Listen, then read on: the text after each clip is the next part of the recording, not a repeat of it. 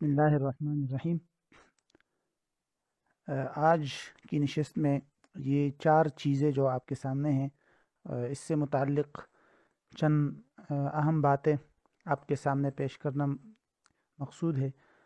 उनमें से एक चीज़ है हाशिया, किसी भी तहकीकी किताब या मकाले में हाशिया लिखना।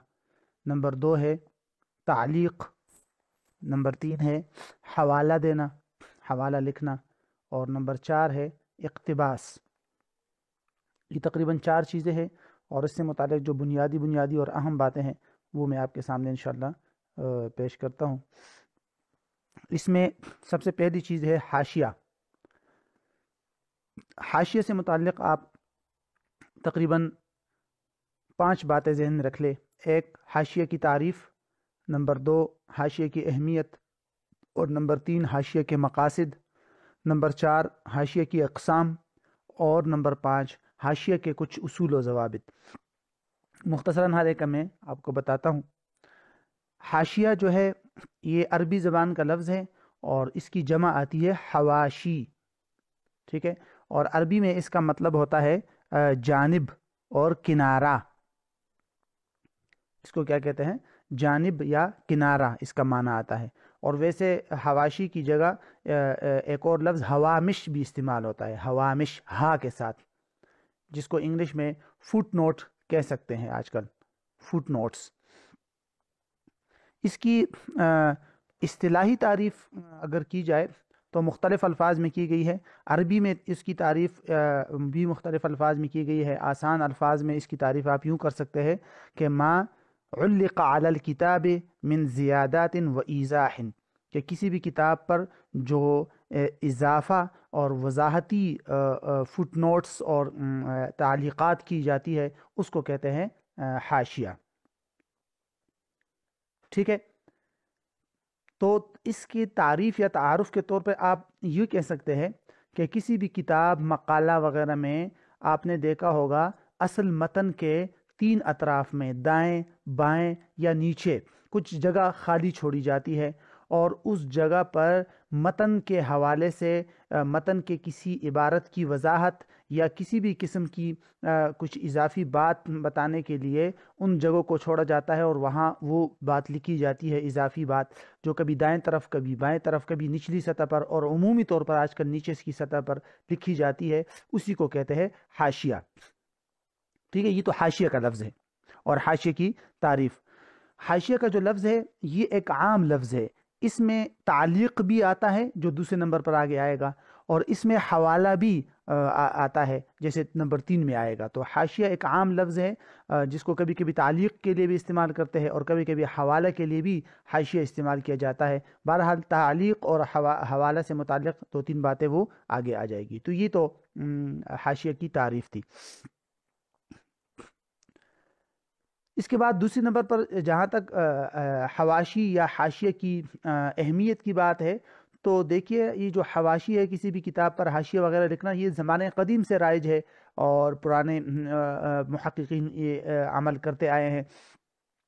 और इसके बारे में उलमा ने लिखा है कि जिस कदर मुफीद हाशिया और और हवाशी होंगे उसी की वजह से किताब की कदर कीमत और किताब की इल्मियत में इजाफ़ा होता है।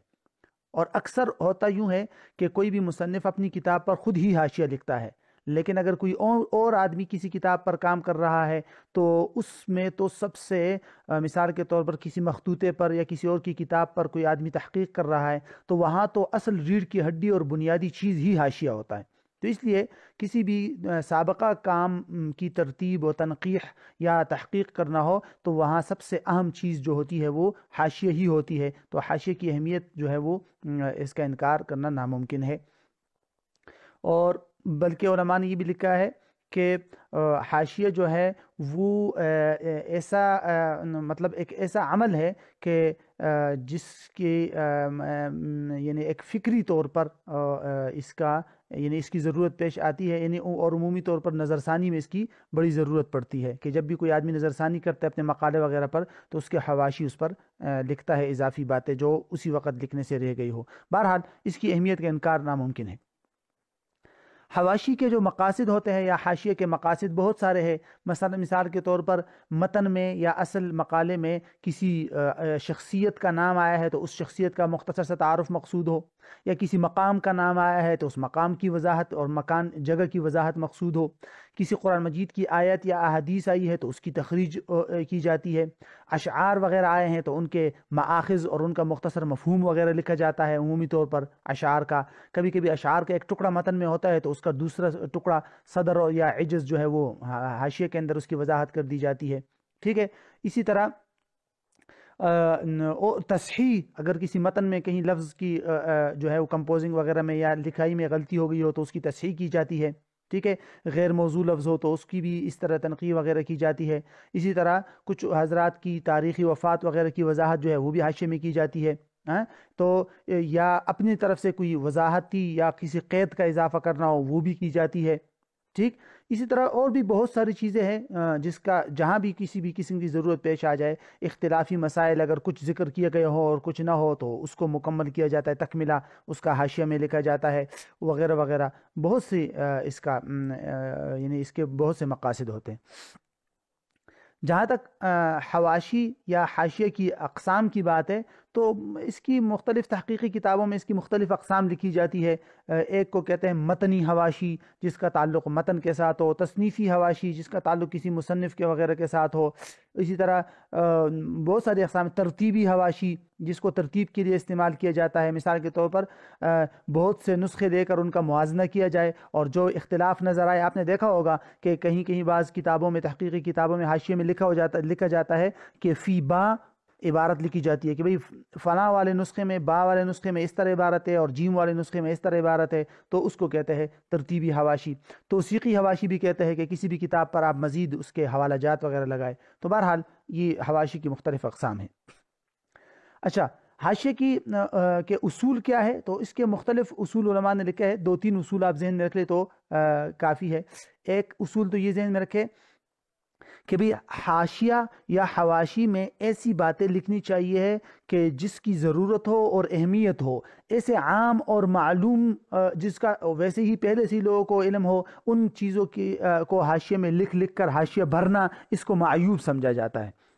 ठीक है मसन जैसे आपने देखा होगा मकालों में जो मशहूर अम्मा हमारे, इमाम अहमद बिन हम्बल हो गए, इमाम अबू हनीफ़ा या इस तरह के जो भी मशहूर इमाम बुखारी वगैरह, उनके अमूमी तौर पर उनका तर्जुमा और उनका तारफ़ वगैरह नहीं लिखा जाता क्योंकि वो मशहूर है, मरूफ है, ठीक? जो मशहूर मरूफ ना हो तो फिर उनका लिखा जाता। दूसरा उसूल यह है कि मतन से मुतल अगर कोई वजाहत करना हो, तबसरा करना हो तो सिर्फ़ और सिर्फ़ ज़रूरी और जाम माने इबारत लिखनी चाहिए। एक ही बात को मुकर तकरार वगैरह के साथ नहीं करना चाहिए। और तीसरी बात ये कि इख्तिसार और जामियत का जो है ना का ख्याल रखना चाहिए और फजूल अपनी तरफ़ से इजाफा और लंबी लंबी इबारात नहीं लिखनी चाहिए। ये हाशिया का मुख्तसर सा एक मुख्तसर सी वजाहत थी जो आपके सामने आ गई। अच्छा दूसरी चीज़ जिसको कहते हैं तालीक। ठीक है?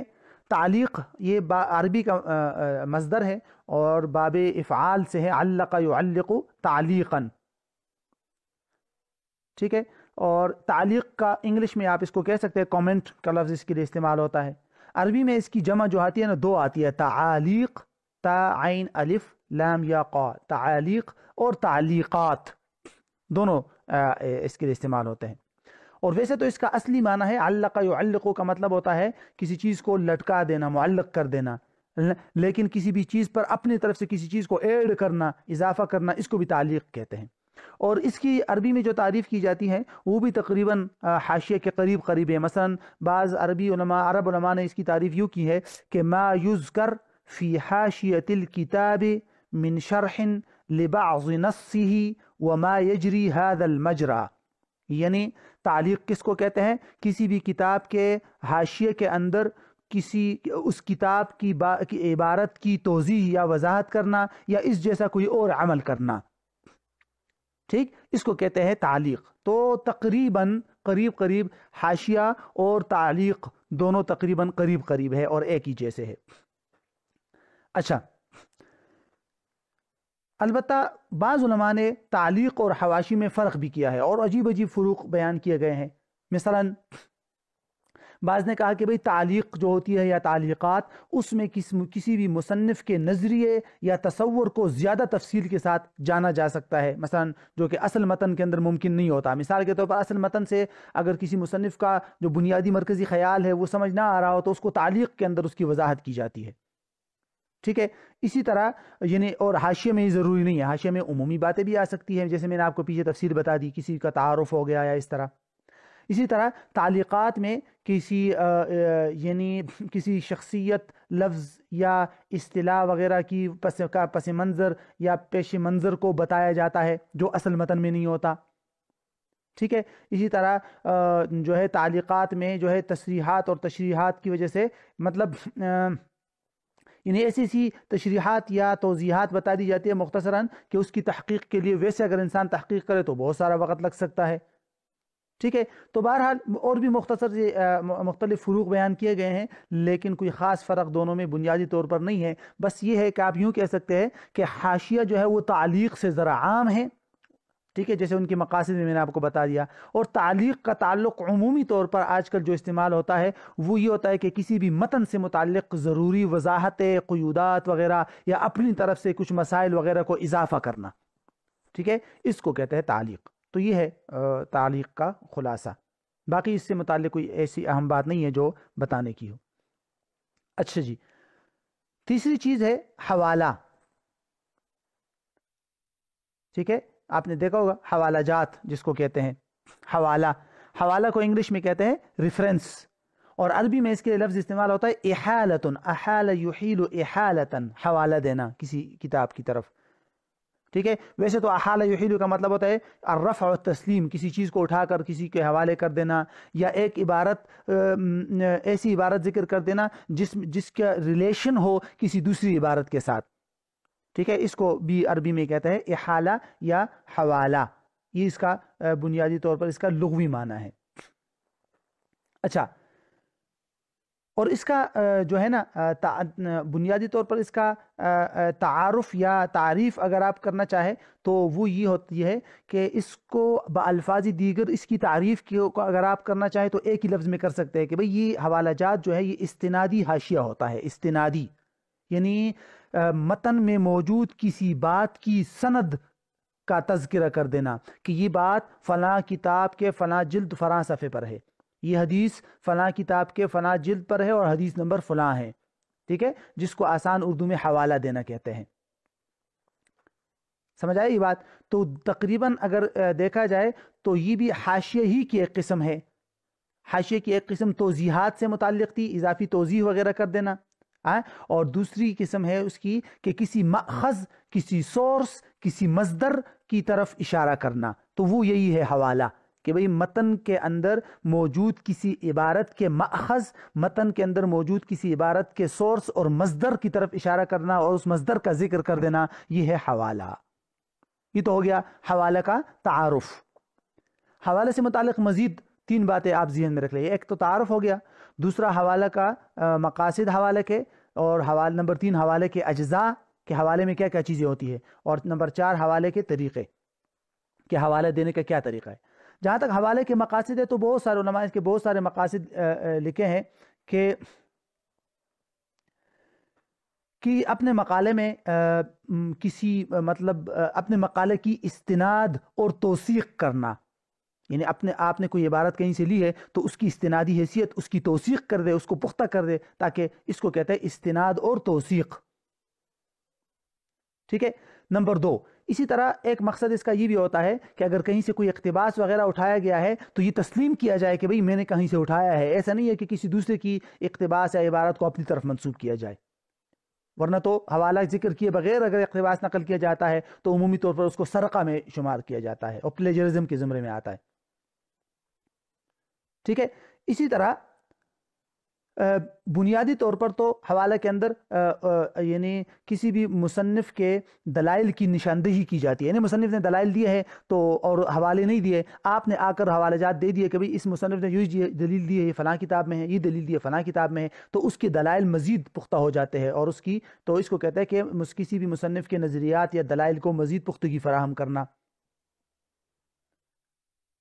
ठीक है? इसी तरह अगर कोई भी आदमी मुसन महक़ या मकाल नगार, वो हक़ या आदाद व शुमार वगैरह बयान करता है तो उसकी भी हवाला की ज़रूरत पड़ती है। वरना हक़ और जो आदाद व शुमार होते हैं, उसको अमूमी तौर पर इंसान अपने जहन से नहीं मुस्तमत कर सकता। इसका ताल्लुक़ आम मुशाहे और मालूम से है तो इसलिए उनका हवाला देना ज़रूरी होता है। तो इसके एक बुनियादी मकासद में से ये आता है। अच्छा तीसरी चीज़ किसी भी आ, आ, किताब का हवाला देने में बुनियादी अज्जा क्या होते हैं?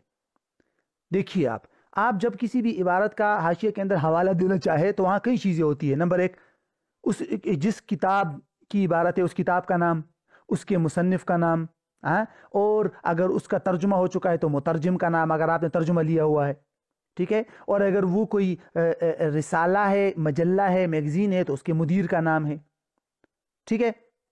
इसी तरह बसा अवकात जो है ये जो अभी मैं आपको बता रहा हूँ, ये वाली चीज़, ये मसलन तारुफ, उस किताब का तारुफ वगैरह करना, ये अमूमी तौर पर नहीं किया जाता। बसा अवकात कभी कभी ज़रूरत पेश आती है तो इसका किया जाता है। ठीक है? इसी तरह जिल्द नंबर और सफ़ा नंबर और एडिशन, जिसको तबा कहते हैं, तबा, के तबा पहली तबा है, दूसरा एडिशन है, तीसरा एडिशन है, ये भी ज़िक्र किया जाता है। ठीक है?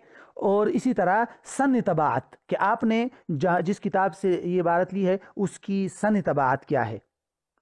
तो इसको भी ज़िक्र किया जाता है, ठीक है? और मुसनफ़ का नाम, उसमें वो मुकम्मल, ये जहन में रखिएगा मुसनफ़ के नाम में मुकम्मल नाम आता है कुन्नीत लक़ब, और उसका नाम और मुकम्मल तौर पे, ठीक है? और तो ये बुनियादी अज्जा है किसी भी हवाले के। आखिरी चीज़ है, मकाले के तरीक़े। मकाले में बहुत सारे मकाले के मुख्तलिफ़ तरीके हैं। आम किताबों में उमूमी तौर पर आम तरीके यही होते हैं, किताब का नाम लिख दिया, जिल्द और सफ़ा लिख दिया, बस ख़त्म। ये तो आम किताबें हैं। लेकिन तहकीकी मकाला जात और उमूमी तौर पर यूनिवर्सिटी की सतह पर जो मकालत लिखे जाते हैं, उसमें जो हवाले के तरीके हैं, दो तरीके ज़्यादा मशहूर है। एक को कहते हैं Harvard hard word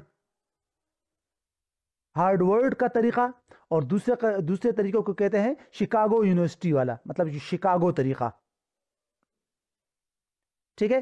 तो हार्डवर्ड का तरीका अमूमी तौर पर यह होता है कि मतन के अंदर ही ऊपर, नीचे नहीं हाशिए में नहीं, मतन के अंदर ही ब्रैकेट दे दिया जाए और उस ब्रैकेट के अंदर मुसनफ़ का ख़ानदानी नाम, है, या नाम का जो आखिरी हिस्सा होता है, मसलन बुखारी, अबू अब्दुल्ला, इस तरह करके। फिर तसनीफ़ और तसनीफ़ का साल, ठीक है, सफ़ा नंबर, जिल्द नंबर तो ये ऊपर ही मतन के अंदर ही ब्रैकेट में ये चीज़ें दे दी जाती हैं। तो इसको बुनियादी तौर पर इसको कहते हैं हार्डवर्ड का तरीका और ये आजकल हमारे यहाँ इसको उमूमी तौर पर पसंद नहीं किया जाता और ना ही इसको इख्तियार किया जाता है। अच्छा ये इस, ये जो दूसरा तरीका है यानी शिकागो वाला तरीका, ये उमूमी तौर पर ऊपर मतन में नहीं बल्कि हाशिए में दिया जाता है, एक बात। ठीक है? और दूसरी बात ये कि हर सफ़े का अलग हाशिया होता है उमूमी तौर पर। कि एक सफ़े में अगर तीन है तो वहाँ पर एक, दो, तीन। दूसरे सफ़े में अगर दो है तो वहाँ एक, दो। ऐसा नहीं है कि एक सफ़े में तीन आ गए तो दूसरे सफ़े में चार, पाँच, तीसरे में फिर पाँच छह ऐसे करके लंबे जाते जाएँ। ये शिकागो तरीका नहीं है। हर सफ़े का अलग अलग जो है हवाला दिया जाता है। और ये हवाला मैंने आपको पहले इसका तरीका बताया था। इसका जो है शिकागो का जो तरीका होता है हवाला देने का, उसमें अमूमी तौर पर सबसे पहले मुसनफ़ का जो लकब अच्छा एक मिनट। अच्छा तो मैं बता रहा था कि हवाले का जो दूसरा तरीका है, शिकागो वाला उसमें, उसका तरीका ये होता है कि हर सफ़े का अलग होता है और उसमें सबसे पहले मुसनफ़ का नाम होता है, लेकिन मुसनफ़ के नाम में भी मैंने आपको बताया था कि सबसे पहले उसका ना, उसका लकब लिखा जाता है। मिसाल के तौर पर अगर इमाम बुखारी रहमुल्ला का नाम लिखना है आपने तो आपने यूँ लिखना होगा, बुखारी, फिर उसके बाद कुनीत अबू अब्दुल्ला, है, और फिर उसके बाद नाम, मोहम्मद बिन इसमाइल। बुखारी, अबू अब्दुल्ला, मोहम्मद बिन इसमाइल। फिर उसके बाद फिर मखज़ और मजदर का नाम होता है। मिसाल के तौर पर सही अल बुखारी या अलजाम और सही सही? जो भी किताब का नाम होगा। तो किताब का नाम आ जाएगा।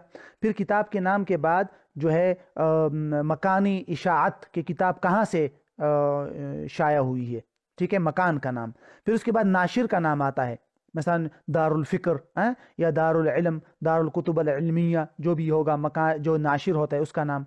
उस नाशिर के बाद फिर तारीख़ी इशात ठीक है? और इसी के साथ तबा भी लिखा जाता है एडिशन नंबर और तारीखी इशात, उसके बाद तारीखी इशात। और आखिर में फिर जिल्द सफ़ा, सबसे आखिर में। और अगर हदीस नंबर है तो बाब और पहले बाब, फिर हदीस नंबर, फिर जो है जिल्द और फिर सफ़ा। तो ये है शिकागो तरीक़ा और अमूमी तौर पर इसी तरीके को इख्तियार किया जाता है मकाला वगैरह के अंदर। अच्छा चौथे नंबर पर जो चीज़ है, बुनियादी तौर पर वो है इकतबास। ठीक है? इकतबास जो है इसकी जमा आती है इकतबासात। ठीक है? इकतबासात। और इकतबास का लघवी माना है अख्ज अल अख्स लेना, उचकना, किसी चीज़ को उचक लेना, ले लेना बेआनी ही। ठीक है? और जो है इसकी जो इस्तेलाही तारीफ़ है वो मुख्तलिफ़ अल्फाज में की गई है। मसलन, उर्दू में इसकी तारीफ़ जो है, वो यूँ की जाती है कि इकतबास का मतलब होता है कि किसी दूसरे यानी किसी दूसरे मुसन्फ़ की इबारात को बेआनी ही मन वन उठा देना या मिन वन मुकम्मल लफ्ज़ ब लफ्ज़ उठाकर अपने तहकीक में या अपनी किताब में उसको शामिल कर देना और उसमें अपनी तरफ़ से किसी भी किस्म का इजाफा न करना। ठीक है? मफहूमी इबारत नहीं, बल्कि यानी बेआनी ही किसी की इबारत को उठा देना। तो इसको कहते हैं इकतबास। ठीक है? अरबी में इसको आप नस कह सकते हैं। नस या नकल इबारा। नस या नकल इबारा, इसको कहते हैं इकतबास। यानी मिन वान किसी की मुकम्मल लफ्ज़ उठा देना। मिसाल के तौर पर बाज़ ने इसकी अरबी में तारीफ़ यूँ की है, अगर आप अरबी में जहन में रखना चाहते हैं, कि नकल बाज़नसूस अनिल आखरीना बिशक्ल मुबाशर औ गैर मुबाशर मिन अजल तकीद अला फ़िक्रत मुआना ठीक है? तो बहर मुख्तलिफ़ मुख्तलिफ़ किस्म के अल्फाज के साथ ताबीर की गई है और इकतबास तकरीबन सब जानते हैं कि किसको कहते हैं। अच्छा जी दूसरी बात। इकतबास के दोनों तरफ़ जो है ना आ, उल्टे कॉमाज लगाए जाते हैं जिसको वावेन कहते हैं। आपने देखा होगा दाएँ तरफ़ भी और बाएँ तरफ़ भी। ठीक है? और इसको उमूमी तौर पर आम मतन की जो मकाले के अंदर जो मतन होता है उससे ज़रा दोनों तरफ़ उसका जो फासला होता है वो मज़ीद कम कर दिया जाता है इसकी वजाहत के लिए। ठीक है? तो ये है बहरहाल इकतबास। ये तो हो गया तारुफ। दूसरी बात, उसूल, किसी भी इकतबास के बुनियादी उसूल क्या है? कहते हैं, देखिए, इकतबास उसी को कहते हैं कि आप किसी की इबारत को बेआन ही उठाकर लगाएँ। अगर आप किसी की इबारत का तर्जुमा करके लगाना चाहते हैं तो उसको वावेन में लिखकर इकतबास की शक्ल में नहीं लिखा जाता, उमूमी तौर पर। मिसाल के तौर पर, अरबी इबारत है, किसी किताब की आप अरबी में नहीं लिख रहे, बल्कि आप जो है उसका तर्जुमा कर रहे हैं। ठीक है, या उसका मफहूम अपने अल्फाज में बता रहे हैं। तो फिर इस सूरत में उलमा कहते हैं कि बाज़ लोग लगाते हैं, लेकिन असल उसूल ये है कि उसको वावेन में लगा कर उसको इकतबास में शुमार नहीं किया जाता। ठीक है, इसी तरह एक उसूल ये भी है कि यानी नज़म या मतलब अशार हो, ठीक है तो उसको यानी अगर उसको एक ही लाइन सतर में लिखा जाए या मुख्तलिफ़ लाइन में, हर एक में अलग अलग मिसला लिखा जाता है हाँ? तो ऐसी सूरत में उलमा जो है, इसके पहले जो मिसरा है, उसमें आइन लिख कर यानी अगर एक ही मिसरा हो तो उस पर आइन लिख कर बगैर वावेन के लिखा जाता है, उसमें वावेन नहीं होता। ठीक है? और अगर जुमले की शक्ल में आप मुसलसल लिख रहे हैं तो फिर आखिर में फिर उसमें एक जो है, डैश लगा देते हैं। ये एक तौर पे मतलब अरबी यानी अशार वगैरह का तरीका होता है। अच्छा।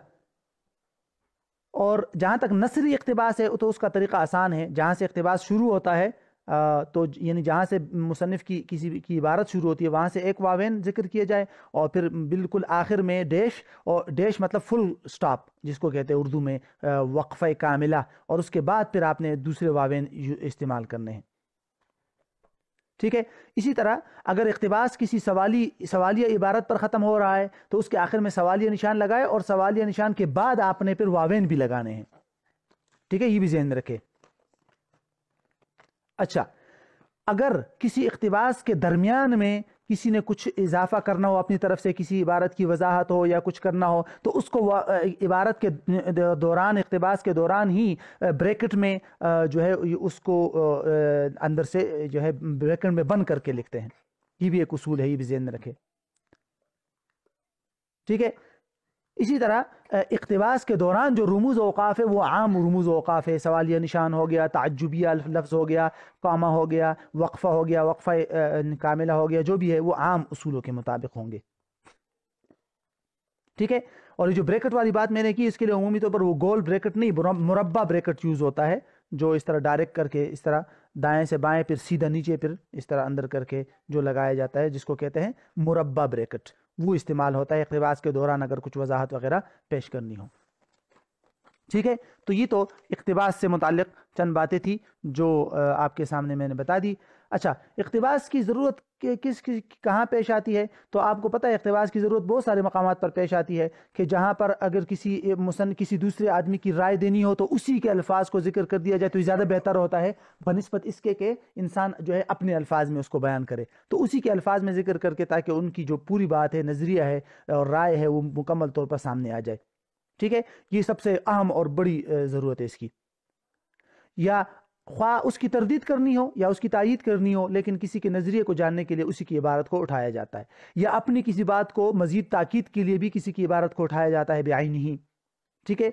और या जब मुख्तलिफ़ की आरा के दरमियान में मुजना करना हो तो भी उनकी इबारात को ज़िक्र किया जाता है अकतबास के तौर पर, ताकि सबकी वजाहत के साथ जो है, हर एक राय आ जाए और फिर उसके बाद। और इसी से ने लिखा कि मकाले की खूबसूरती भी इससे बढ़ती है। बशर्त ये कि इतने ज़्यादा ना हो कि अकतबास ही अकतबास हो और अपनी तरफ़ से कुछ हो ही ना। क्योंकि कोई भी इकतबास अगर ज़िक्र किया जाता है तो इकतबास का उसूल ये है कि एक तो ये है कि इकतबास का ताल्लुक जो है पीछे इबारत के साथ हो। ऐसा भी नहीं है कि पीछे कुछ और लिख गया और आगे इकतबास आ रहा है। समझ नहीं आ रहा कि इस इकतबास का पिछले वाले इबारत के साथ क्या रिलेशन है, क्या ताल्लुक है। और फिर दूसरा उसूल फिर ये है कि इकतबास के बाद फिर इकतबास के बारे में आपने कुछ भी कहना होगा कि आपने इकतबास क्यों ज़िक्र किया या इस इकतबास का नतीजा क्या है और इस इकतबास पर आप ताकीद करना चाहते हैं या उसकी तनकीद करना चाहते हैं। तो इकतबास से मुतल अपनी बात भी ज़िक्र करना ज़रूरी है। ठीक है? अच्छा इकतबास जब भी ज़िक्र किया जाए तो उसके लिए हवाला लाजमी है और हवाले का वही तरीका तफसील जो है मैंने आपको बता दिया, वो भी साथ लिखा जाएगा। ये जो है बुनियादी शर्त यही है। ठीक है?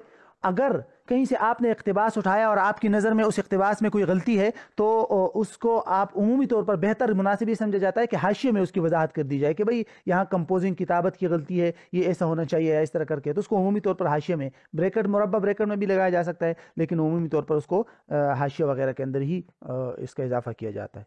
तो ये है खुलासा चंद, ये चार चीज़ों का तो इसका आपके सामने बताना था। तो इसके अलावा अगर आपके जहन में कोई सवाल हो, इनसे मुतल तो बता दीजिए। इन फिर कल मज़ीद चीज़ें